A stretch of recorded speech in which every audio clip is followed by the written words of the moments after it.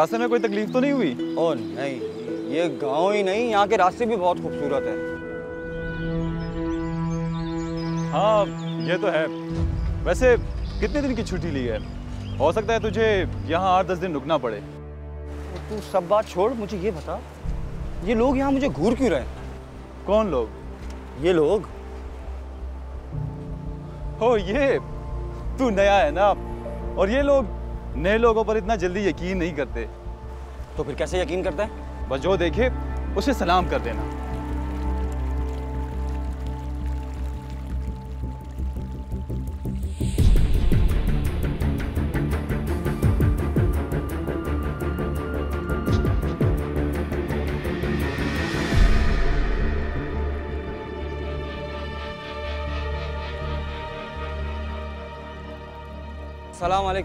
वालेकुम अस्सलाम बखैर अगले मेहमान दा आओ आओ। वो माड़ा संग चल दे टिक दे जोड़ दे ये सामान हमारा को तो आज हमारा डेरा पे रहेगा तुम। ओ भाई ये मेरा मेहमान है। नहीं नहीं हमारा डेरा पे रहेगा ये मेरा मेहमान है मेरे घर में रहेगा। आप जाए।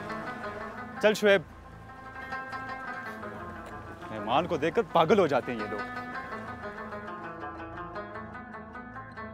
बदकिस्मती से हमारे शुमाली इलाका जात काफ़ी लंबे अरसे से दहशत गर्दी के हवाले से खबरों में आते रहे जबकि असल उनकी वजह शोहरत वहाँ का बेमिसाल हुस्न और मेहमान नवाजी थी। ये शुएब कौन है और वो किसका मेहमान बनकर आया था इस गाँव में? इसके पीछे एक दिलचस्प कहानी है।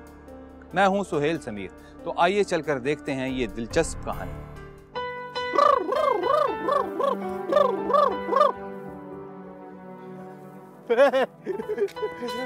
ओए ओए तू मेरा दोस्त है ना? हाँ। है पिली का गोश्त है पिली का गोश्त है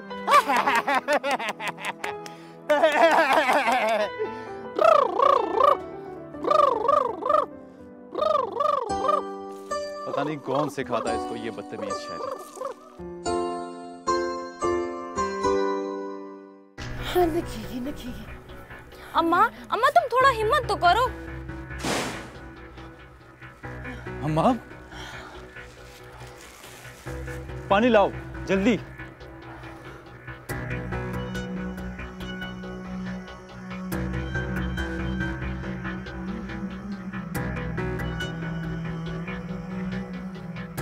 अम्मा को वहाँ क्यों ले गई? मैं बोल के तो गया था आके खुद अम्मा के हाथ मुँह धुलाऊँगा। लाला मैं नहीं लेके गई। अम्मा पता नहीं किस टाइम उठ के चली गई। मैं तो रोटी पका रही थी।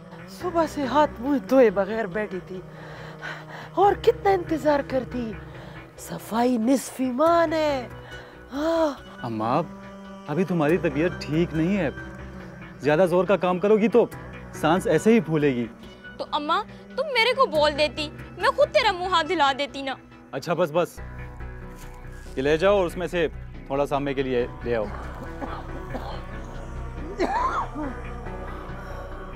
अम्मा हम हैं ना। जो काम हो हमसे बोला करो। तुम दोनों ही तो करते हो बच्चे और कितना वज़न डालो तुम लोगों पे। अम्मा माँ बाप भी कभी वज़न होते हैं। माँ बाप तो सबसे बड़ी नेमत होते हैं। हाँ सही कह रहा और औलाद औलाद भी। शमरेज ने मैट्रिक तक तालीम पिशावर से हासिल की। बाप की अचानक मौत के बाद उसे गाँव वापस आना पड़ा। पोलियो से मुतासरा वालदा का ये इसरार था कि शमरेज पोलियो वर्कर के तौर पर काम करे। उसको ये काम करने में खुशी होती अगर गाँव वाले ताउन करते।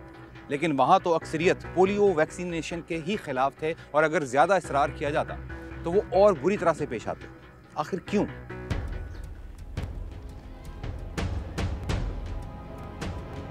भाभी अस्सलाम वालेकुम वालेकुम अस्सलाम। अच्छा हुआ तुम यही मिल गई। मैं तुम्हारी तरफ़ ही आ रहा था। क्यों? वो तुम्हारे पोते कासम खान को ये कतरे पिलाने। खबरदार जो ये राम चीज़ मेरे पोते को पिलाने के बारे में सोचा भी तूने तो। खुदा का खौफ करो शमरेज खान। अल्लाह को जान देनी है। और पता नहीं ये किस आराम चीज़ से बनती है ये दवाई। और तुम तुम लोगों के बच्चों को पिला रहे हो। ऐसा कुछ नहीं है भाभी। ये एक दवाई है और इसका बस फ़ायदा ही फ़ायदा है। सफ़ा हो जाओ। काफर एजेंट लैनल है तुम्हारी शक्ल पे।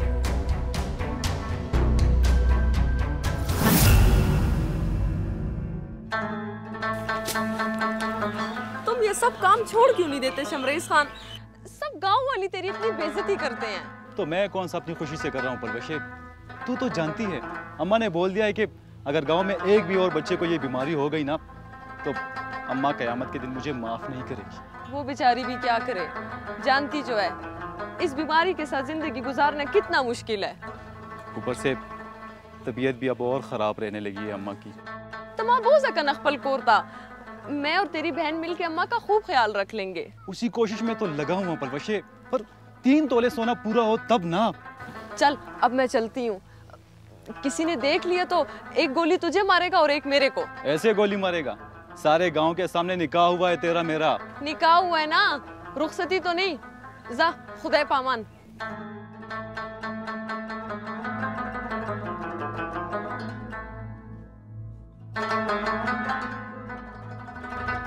जितना सीधा गाँव उतना उल्टे लोग। शमरेज और पलवशे के निकाह को दो साल गुजर चुके थे लेकिन रिवाज के मुताबिक रुखसती से पहले शमरेज को पलवशे को तीन तोले सोना पहनाना था। महदूद तनख्वाह की वजह से घर के हालात बड़ी मुश्किल से चल रहे थे। तो ऐसे में तीन तोले सोना कहाँ से आता?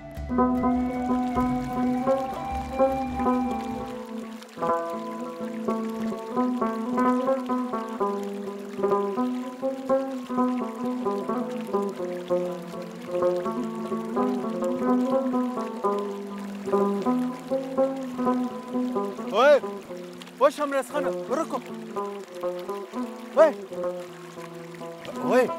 ओए शमरेज खान तू मेरा दोस्त है ना?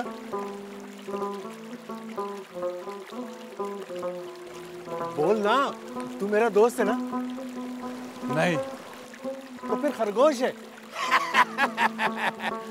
शमरेज खान खरगोश है शमरेज खान खरगोश है शमरेज खान खरगोश है।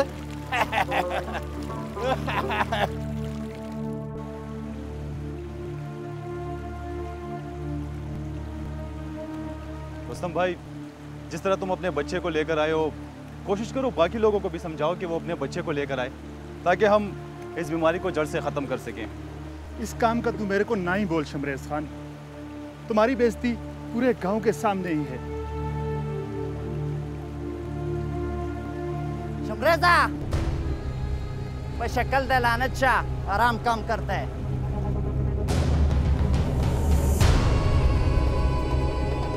ऐसा नहीं था कि शमरेज की माँ उसकी तमाम परेशानियों से लाइल्म थी। अपने तौर पर वो जितनी कोशिश कर सकती थी वो भी कर रही थी। कैसा तबीयत है खाला जाने? होए बच्चे तबीयत तो उम्र के साथ लगी रहती है। ये बता अलवशा का क्या सोचा तूने? खाला जाने मैं खुद पलवशे का बहुत फ़िक्र करता है। मगर शमरेज खान शर्त पूरी कर दे तो पलवशे आपको दे दूँगा। पर लाला शमरेज लाला इनकार थोड़ी कर रहा है। अब नहीं है उसके पास तो वो कहाँ से पहनाए? हाँ शादी के बाद पहना देंगे। खाला वो शादी से पहले नहीं पहना सकता तो बाद में कैसे पहनाएगा? शादी के बाद तो वैसे भी बहुत अखराजात हो जाता है। पर अब तो हमारा निकाह भी हो गया है।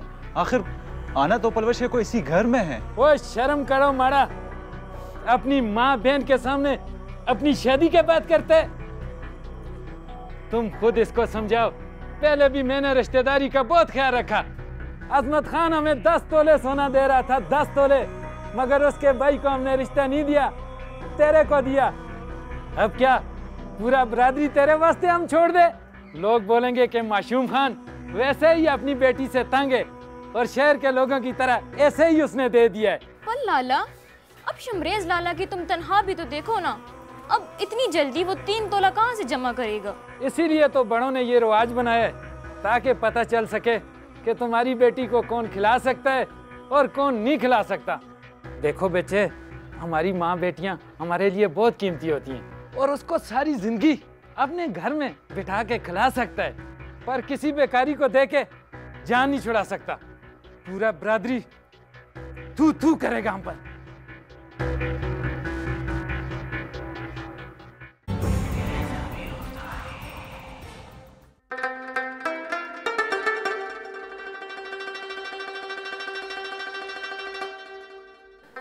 बात करनी आती तो तेरा कुछ होता ना शमरेज खान। वरना लाला तो मेरे बारे में खुद इतना परेशान है। कहता है मैं 18 साल की हो गई और अब तक उसके घर बैठी हूँ। मेरे साथ की सब लड़कियाँ दो दो बच्चों की माँ बन गईं। तू मनाने की कोशिश तो करता ना शमरेज खान। कैसे कोशिश करता? उसने ये बोलकर चुप करवा दिया कि अपनी शादी की बात करते हुए मुझे शर्म आनी चाहिए। तो बस फिर बैठ और करता रहे शर्म। पलवशे रुक मेरी बात तो सुन। वाया। मैंने अपने शहर वाले दोस्त शुएब को बोल दिया है। वहाँ मेरे लिए कोई नौकरी ढूँढने के लिए। शहर में तनख्वाह भी अच्छी मिल जाती है। मोर भाई इजाज़त रखी अरे अम्मा इजाज़त दे देगी। अम्मा को थोड़ी बोलूँगा। उसे बोल दूँगा कि शहर में तबादला हो गया है और वहाँ भी यही काम करना है। बस तुझे थोड़ा इंतज़ार और करना पड़ेगा। मुझे कोई जल्दी नहीं है शमरेज खान। तेरी फ़िक्र है। मैं तो तेरे साथ रह के तेरे गम बांटना चाहती हूँ। तू कितनी अच्छी है पलवशे। चल, अब मैं चलती हूँ। मेरी सारी सहेलियाँ मेरा इंतज़ार कर रही होंगी। ठीक है।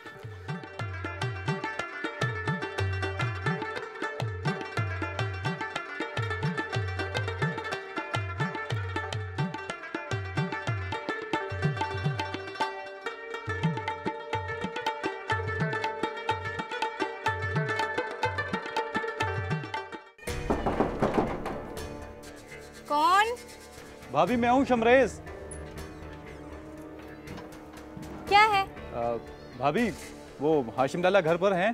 हाँ अंदर ही है। बुलाऊं क्या? नहीं नहीं। मैं वो पोलियो के कतरे पिलाने आया था। तुम बस मुन्नी को ले आओ। अच्छा कतरे पिलाने आए हो? जी जी। तुम इधर ही रुको। मैं अभी आई। जी अच्छा।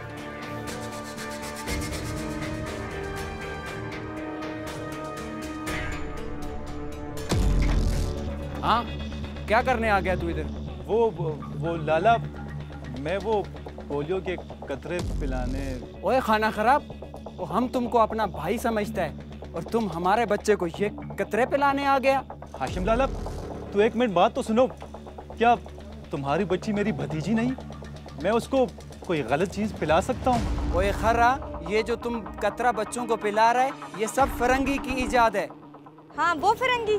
जिसने पहले बंदूक की गोलियों से हमको खत्म करने की कोशिश की जब उन गोलियों से हमारी नस्ल खत्म ना हुई तो अब ये गोलियाँ भेज दी हमको खत्म करने के लिए। ये कतरा बच्चा पैदा करने की ताकत खत्म कर देता है। तुमको इतना नहीं पता? नहीं लाला ऐसा नहीं जिस तरह तुम बोल रहे हो। तो फिर कैसा है? जैसा तुम समझ रहे हो इसका बिल्कुल उलट। ओए खुदाया पाका ओ इतना मगज तेरा भाभी नहीं खाती जितना तूने खराब कर दिया है। चल दा दफ़ा हो जा मैंने अपने बच्चे को कतरे नहीं पिलाने।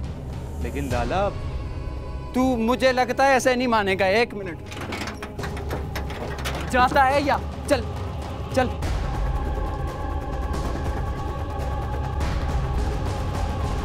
से।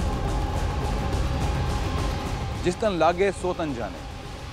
चमरेज की माँ को पोलियो के मर्ज ने किस किस खुशी से महरूम किया था, ये सिर्फ़ वही जानती थी। पोलियो के मर्ज से मुतासरा शख्स ही नहीं, बल्कि पूरा का पूरा खानदान किन किन मिसाल का शिकार होता है। आइए देखते हैं।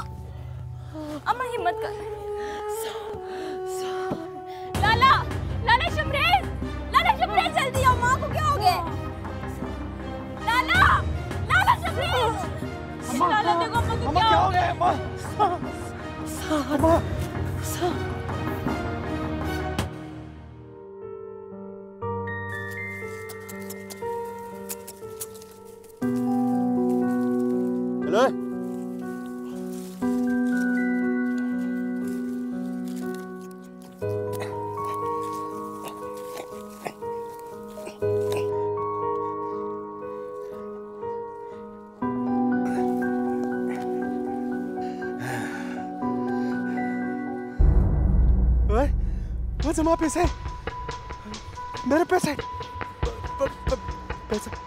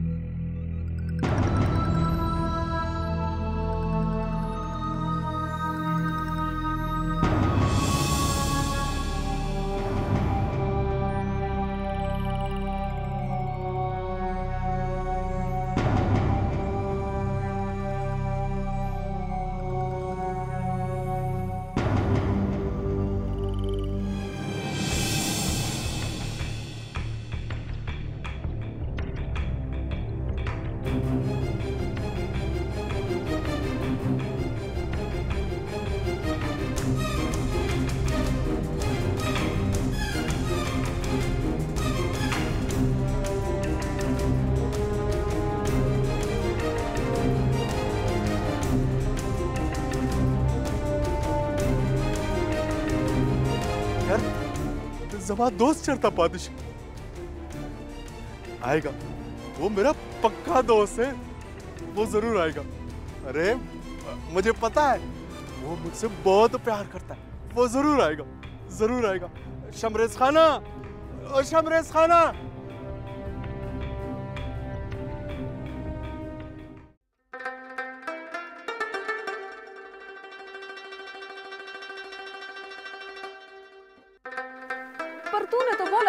शहर में अपने किसी दोस्त को नौकरी ढूँढने का बोला है।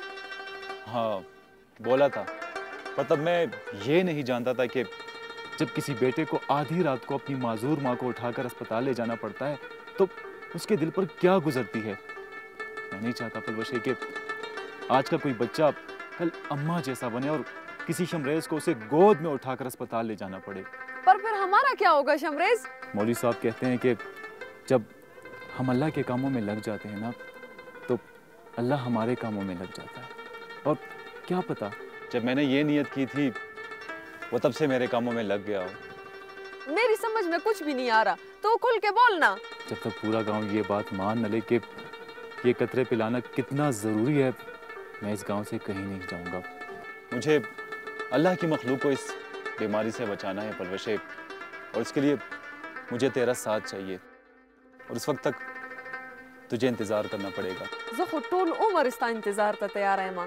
पर तेरी बात पहले किसने मानी है जो अब मानेगा? मेरी नहीं पर उसकी तो मानेंगे जिसकी बात पर अब चल रहे हैं। मतलब? मतलब ये मौलाना साहब क्या आप कोई डॉक्टर है जो आपको ये पता है कि कतरे पीने से बच्चे पैदा करने की सलाहियत कम हो जाती है? नहीं मैं कोई डॉक्टर तो नहीं हूँ पर जिसने इस पर मजमून लिखा है वो एक डॉक्टर है। कौन सा मजमून? वो तो मुझे नहीं पता लेकिन पाइंदा खान ने इसके बारे में मुझे यही बताया। आपने कहाँ पढ़ा था वो मजमून चाचा? मैंने नहीं पढ़ा था। सोबत खान ने मुझे बताया। मैं कोई पढ़ा लिखा हूँ? जो मजमून पढ़ूँगा। मुझे तो हाशिम खान ने बताया। और हाशिम खान कोई पढ़ा लिखा है जिसने ये मजमून पढ़ लिया? मुझे क्या पता? किसी पढ़े लिखे ने बताया होगा। ऐसा नहीं होता माड़ा। उसने पढ़ा होगा तो बोला मेरे को वरना उसका कोई दुश्मनी है मेरे से। हाँ लेकिन जिसने आपको बोला उसका कोई नाम पता तो होगा। वो पूछ रहा हूँ मैं। नाम पता तो मेरे को नहीं मालूम। पर हाँ जब मैं शेर फ़सल बेचने गया था मुझे वहाँ मिला था।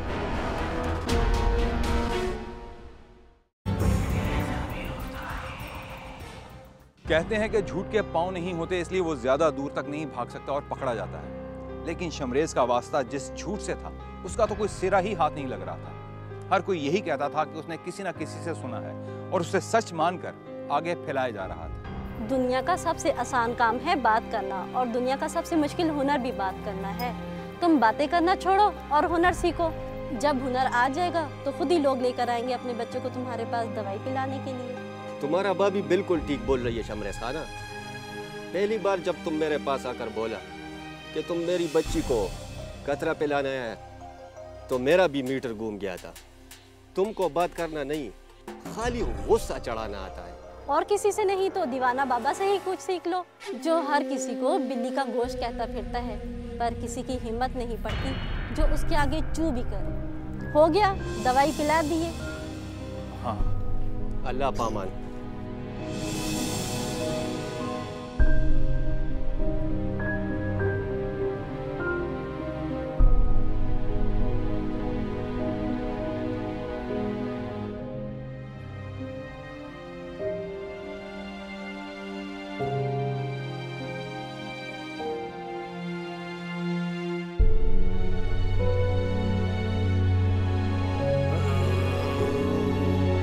टेढ़े पापा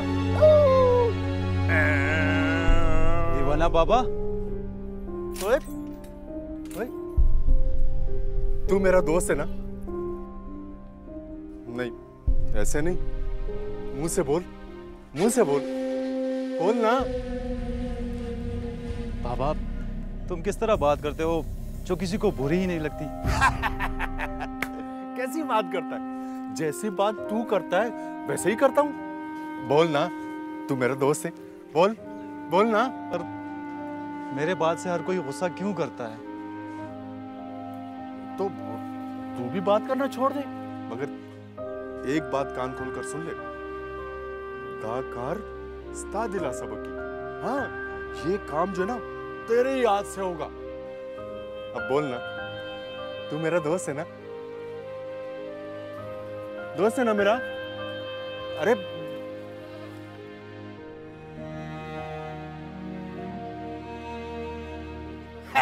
पागल है मेरी बात समझता ही नहीं है।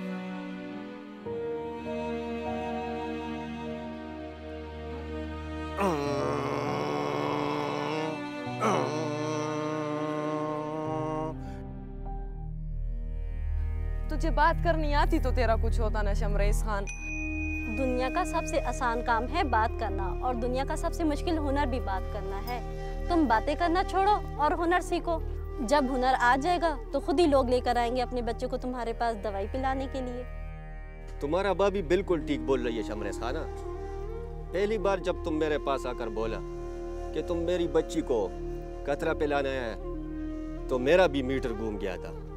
तुमको बात करना नहीं खाली गुस्सा चढ़ाना आता है। इसके बाद जो कुछ हुआ वो आप देख चुके हैं। आइए एक बार फिर से देखते हैं। रास्ते में कोई तकलीफ़ तो नहीं हुई? ओ नहीं ये गाँव ही नहीं यहाँ के रास्ते भी बहुत खूबसूरत है। हाँ ये तो है। वैसे कितने दिन की छुट्टी ली है? हो सकता है तुझे यहाँ आठ दस दिन रुकना पड़े।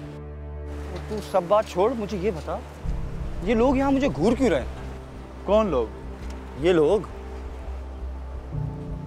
हो ये तू नया है ना? और ये लोग नए लोगों पर इतना जल्दी यकीन नहीं करते। तो फिर कैसे यकीन करते हैं? बस जो देखे उसे सलाम कर देना।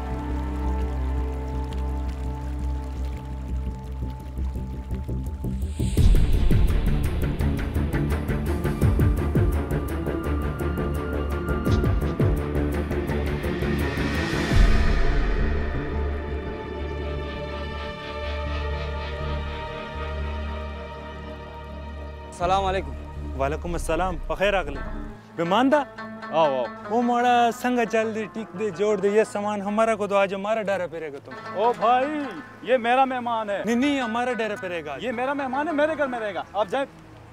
चल शुएब। मेहमान को देखकर पागल हो जाते हैं ये लोग। अच्छा तो इसलिए बुलाया तूने मुझे? हाँ। बली का बकरा समझा हुआ मुझे क्या? कि क्या कह रहा है तू शुएब? तो और क्या कहूँ? जो तेरी यानी अपने गाँव वाले की सुनने को तैयार नहीं वो मेरी क्या खाक सुनेंगे? ओ भाई तुझे तो धक्के देते हैं ना मुझे तो जान से मार देंगे। ऐसा कुछ नहीं होगा शुएब। तू मेहमान है और ये लोग इंतहाई मेहमान नवाज़ देखा तूने किस तरह वेलकम किया सबने तुझे? देखा मगर उनके कटकाट भी देखे और पाँच पाँच किलो के हाथ भी। तुझे कोई और नहीं मिला? क्यों अपने एक तजुर्बे की भेंट चढ़ाने के लिए मुझे बुला लिए? देख शुएब तू ये भी तो सोच के एक नेकी का काम है। बहुत सारे बच्चों की पूरी ज़िंदगी का सवाल है। अगर इस काम में हमारी जान भी चली जाए ना तो फ़ायदा है कि नहीं? यार मैं कह रहा हूँ ना ये मेहमानों के लिए जान देने वाले लोग हैं। उनकी जान लेने वाले नहीं। ठीक है अगर यही बात है ना तो मैं डरने वालों में से नहीं। अरे शुएब दीवाना है। ओए ओए तू मुझे सलाम कर। अस्सलाम वालेकुम अब गटर में जाके आराम कर। चल यहाँ से।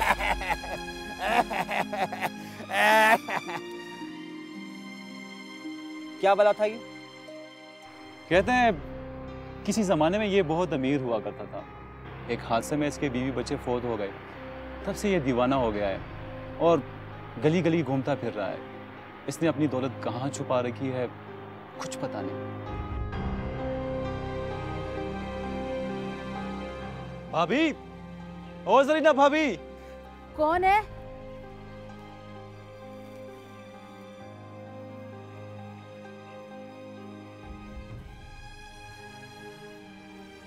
क्यों आए हो तुम? वो मेहमान को तुमसे कोई बात करनी है। दा मेहमान दा शहर से आया है? आओ। आओ तुमको अंदर खाना वाना खिलाऊं। भाभी इस तकलीफ़ की कोई ज़रूरत नहीं। बस इसको तेरे से कोई बात करनी है। बात करनी है? अच्छा बोलो। भाभी बात दरअसल ये है कि बच्चे को पोलियो के कतरे पिलाना बहुत ज़रूरी है। शमरेज ने आपको समझाने की बस बस समझ गई मैं। यही बात अगर शमरेज ने की होती तो मुँह तोड़ देती इसका। तू मेहमान है इसलिए तेरा लिहाज कर रही हूँ। दफ़ा हो जा यहाँ से वरना गोली मार दूँगी। चल जा।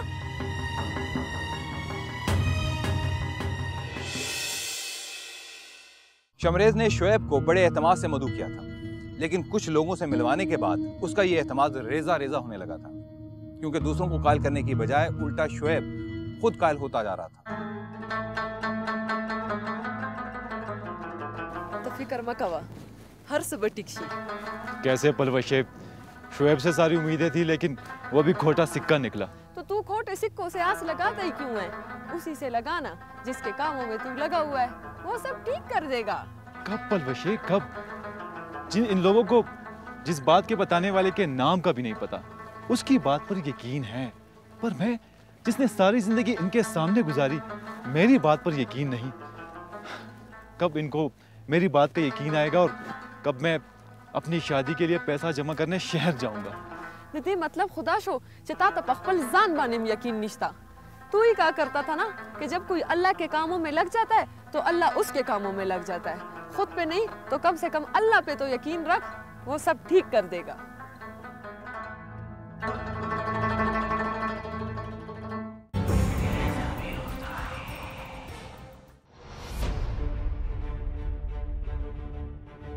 अगर तू भी ऐसे चला जाएगा तो मैं अकेला कैसे करूँगा ये सब? जैसे पहले करता था।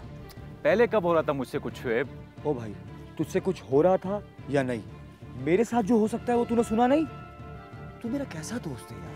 ठीक है मैं नहीं रोकता तुझे लेकिन मुझे कोई और हल तो बता के जा। मैं कोई हल चलाने वाला बैल हूँ जो तुझे हल बता के जाऊँ? देख शुएब ये बड़ा नेकी का काम है। और नेक लोग ज़्यादा लंबा नहीं जीते। यही लोग कहते हैं। तू लोगों की बातों में क्यों आता है यार? मैं तुम्हारा दोस्त हूँ मेरी सुन। मैं तुम्हारा बुरा कैसे चाह सकता हूँ यार? मौत से बुरा कुछ नहीं होता। तू मुझे वक्त से पहले मरवाना चाहता है। और फिर भी कह रहा है कि तेरा मैं बुरा कैसे चाह सकता हूँ? मैं आज शाम को चला जाऊँगा। अब तू क्या करेगा? तू तो कहता था कि तेरा दोस्त तेरा साथ नहीं छोड़ेगा। मुझे तो पूरे यकीन था पर वो बड़ा डरपोक निकला। अब तू क्या करेगा? जिन लोगों ने मेहमान का बात नहीं माना वो किसी और का क्या मानेगा? मैं अपनी कोशिश छोड़ भी तो नहीं सकता। गाँव के बच्चों की ज़िंदगी का सवाल है। मैं तेरे वास्ते दुआ करूँगी। मेरे गाँव के वास्ते जो कर सका वो करूँगा। मैं तेरे साथ है। शमरेज खाना वो हमको इधर क्यों बुलाया है? और ये खाला जान को? ये जो माजूर बीमार औरत तुम लोगों के सामने बैठी है तुम लोग यही सोच रहे हो ना कि मैं इसको किस वास्ते इधर लाया और तुम सबको इधर क्यों लाया?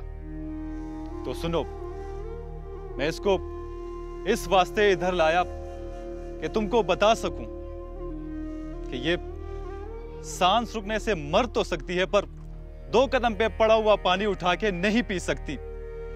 बीमारी से तड़प तो सकती है, पर पहाड़ से उतरकर अस्पताल नहीं जा सकती। और अस्पताल तो क्या ये अकेले खाने में भी नहीं जा सकती? उधर जाने के लिए भी उसे एक ताकत वाला सहारा चाहिए। एक मर्द का सहारा। इसके दिल पर क्या गुजरती होगी जब मैं उसे गुसल खाने में छोड़ कर आता हूँ? मेरा दिल कैसा खून के आँसू रोता होगा? तुम लोग सोच सकते हो? और इसने ज़िंदगी के पूरे 45 साल ऐसे गुजार दिए। क्या क्या तुम में से कोई एक साल भी गुजार सकता है? नहीं, एक दिन भी नहीं गुजार सकता। कितनी मुश्किल ज़िंदगी है ये। और ये, और इतनी मुश्किल ज़िंदगी गुजारने के बाद ये मालूम है क्या चाहती है? बस इतना कि इस गाँव के किसी और बच्चे को ये अजियत ना मिले। कोई और इसके जैसा मोहताज ना बन जाए। इसका बस यही एक ख्वाब है कि इस बीमारी का निशान इस गाँव से मिट जाए। ये ये इसका ही नहीं, मेरा भी। और थोड़ी सी अकल रखने वाले हर पाकिस्तानी का यही ख्वाब है कि इस बीमारी का निशान इस पाकिस्तान से ही नहीं इस दुनिया से खत्म हो जाए। फिर फिर तुम लोग हमारा साथ क्यों नहीं देते? तेरा साथ देंगे तो इनके बच्चे नहीं होंगे ना? इसलिए। गलत। बिल्कुल गलत। तुम सबको बोलने वाले मौलवी साहब के पास इस बात का कोई सबूत है?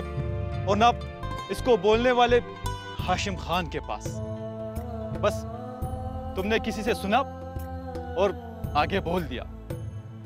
और यकीन कर लिया ये सोचे बगैर कि इससे तुम्हारे बच्चों की ज़िंदगी बर्बाद हो सकती है।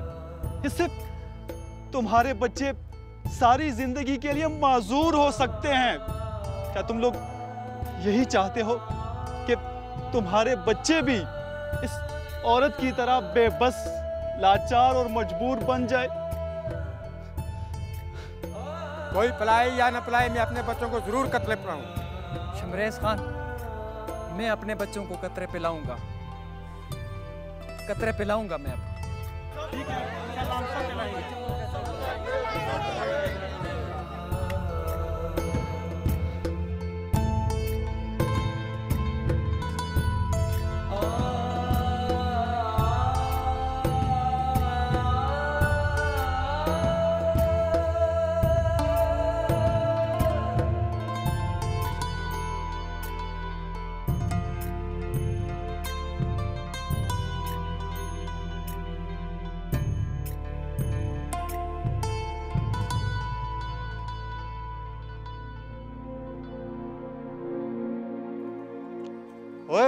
खाना वो दीवार पोता का सप्याकी और सौ रुपए भरा की। ना? तू मेरा दोस्त है ना? हाँ। बिल्ली का गोश्त है ना? ओए तेरा काम हो गया ना?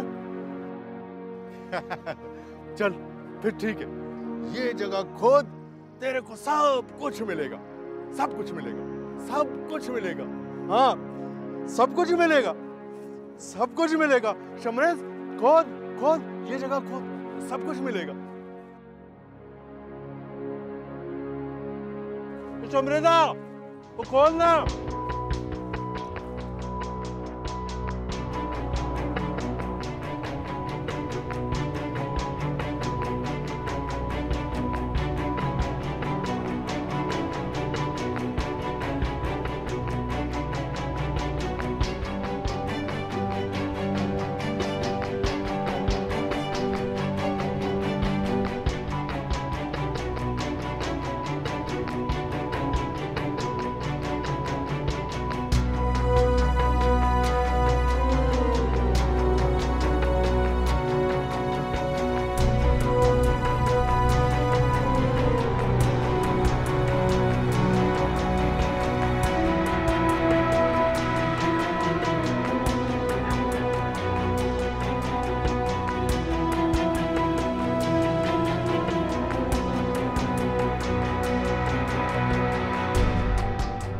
शमरेज को कुल मिलाकर दो लाख रुपए उस मट्टी से मिले। और इन पैसों से ना सिर्फ़ तीन तोले सोना, बल्कि दावत वलीमा भी बड़ी आसानी से की जा सकती है। अगर इस दुनिया में अकल है तो बहुत सारी चीज़ें ऐसी भी हैं जो मावराए अकल है। और उन्हीं में एक दीवाना बाबा जैसा किरदार है। किस्सा मुख्तसर, कर भला सो हो भला। और ये सिर्फ़ काफिया पे माई ही नहीं, बल्कि एक ठोस हकीकत है। बस इतनी सी बात है, अगर समझ में आ जाए।